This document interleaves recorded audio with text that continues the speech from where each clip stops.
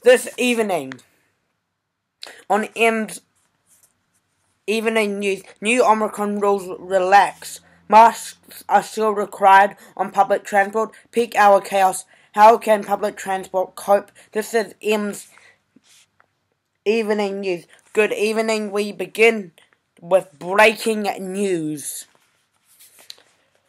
Masks are still required on public transport. Uh, COVID 19 restrictions. Now, masks are still required on public transport, including the cable car, the ferry. Checking, checking the weather soon. Returning live. New Omicron rules are live. New Omicron rules are relaxed. India is still in the red setting. New South Wales rocked again, but there is there is Another new train uh, is now electric top headlines following on early news on on Wednesday the 3rd of May. Breaking news Australia election on the 14th May. That's the headlines. It's 6.50 now.